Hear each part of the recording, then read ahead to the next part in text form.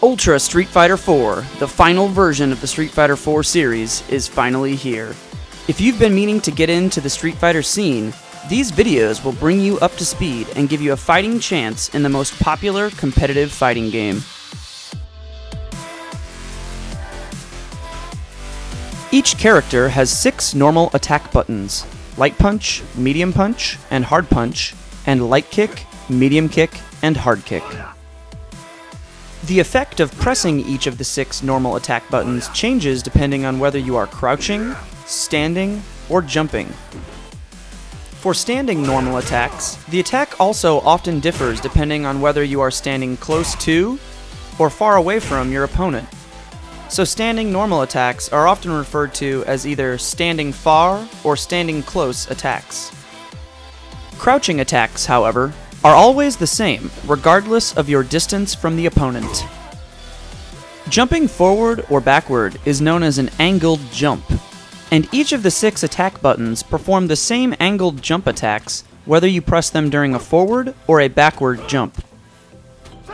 Jumping straight upward is known as a neutral jump, and attacks performed during a neutral jump differ from those performed during an angled jump.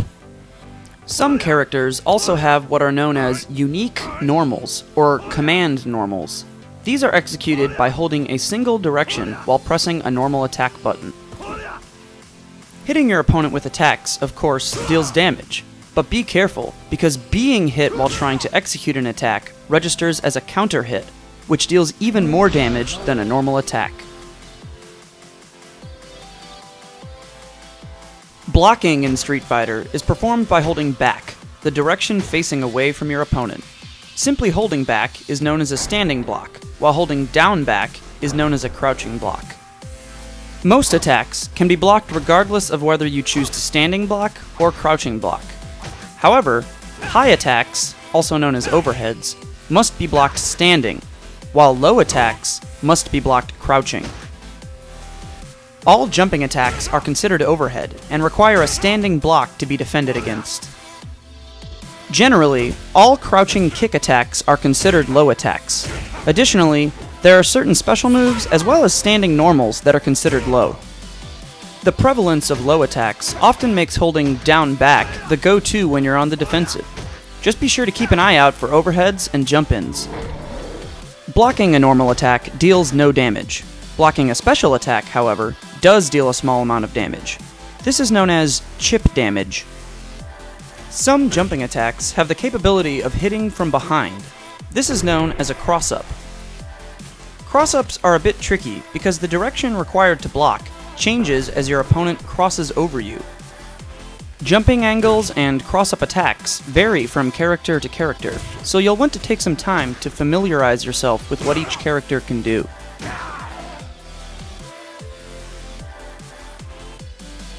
Throws play an important role since they cannot be blocked.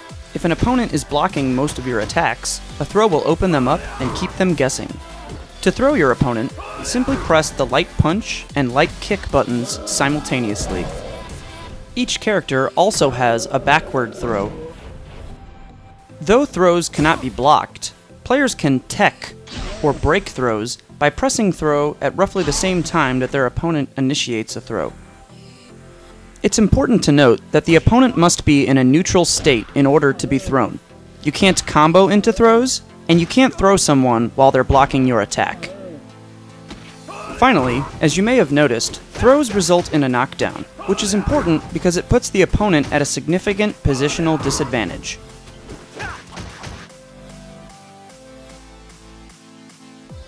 There are two kinds of knockdowns, hard knockdown and soft knockdown. Throws and most crouching hard kicks, or sweeps, result in a hard knockdown, as do certain special moves.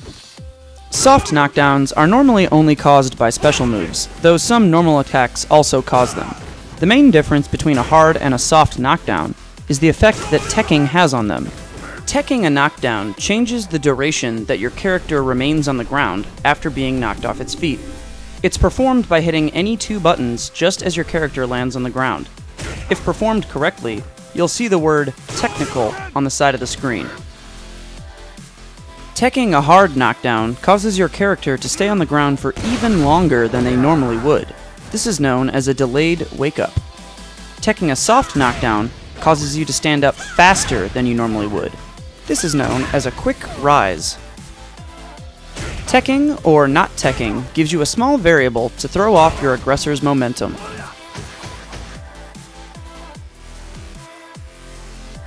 All characters have the ability to dash, both forward and backward. To dash, simply tap forward forward or back back. Forward dashing is generally used offensively. It gives you a quick burst of speed and may catch your opponent off guard. Backdashes are useful defensively, since when initiated, they are momentarily airborne and invincible. This makes them useful as an escape. If your opponent is pressuring you after a knockdown, Backdashing when you stand up may get you out to safety. Backdashing is vulnerable upon completion, though, so don't get too predictable.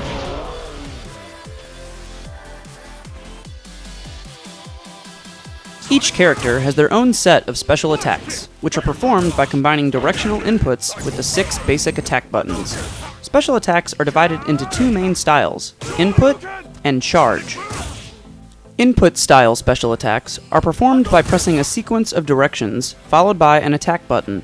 Ryu's Hadoken, or Fireball, is performed by pressing down, down forward, forward, and then any punch button. Once a player has familiarized themselves with their character's input special moves, they can execute them frequently and pressure their opponent with ease. Charge style special attacks are performed by holding a direction for one second, then pressing the opposite direction and an attack button simultaneously. Guile's Sonic Boom is performed by holding back for one second, then pressing forward and any punch button. The game allows for directional overlap when charging. For example, Guile can hold down back to prevent himself from walking backwards, and the game will still count this as both a down and a back charge, which allows him to Sonic Boom. In general, charge characters tend to be a bit more defensively oriented, since holding back or down back to charge naturally causes you to block. Though the requirement of charging may seem like a burden, charge characters generally have powerful normal attacks with excellent range and speed. This helps them out in situations where they do not have time to charge. Finally, many charge moves are somewhat difficult to deal with,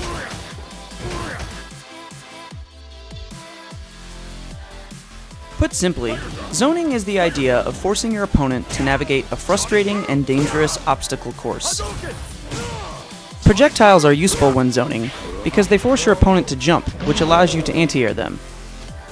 If the opponent jumps at you and scores a hit, they'll get a lot of damage out of it, so a big part of Street Fighter is making sure that that doesn't happen.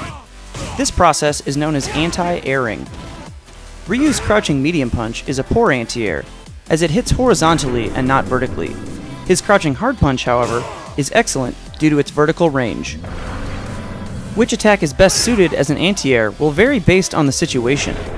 And sometimes, it's better to meet your opponent in the air and beat their jumping attack with your own. The most powerful anti-airs are invincible special moves, such as Ryu's Shoryuken or Guile's Flash Kick. These attacks are momentarily invulnerable, and if timed right, guarantee a clean victory over any jumping attack. Invincible special attacks are quite vulnerable if they miss. Punishing with a sweep or a throw is simple and effective, dealing damage and scoring a knockdown. The more damage you deal when you punish an opponent, the more they'll second guess themselves the next time they use a risky attack. We'll go over how to do some fancier combos in part 2 of this guide.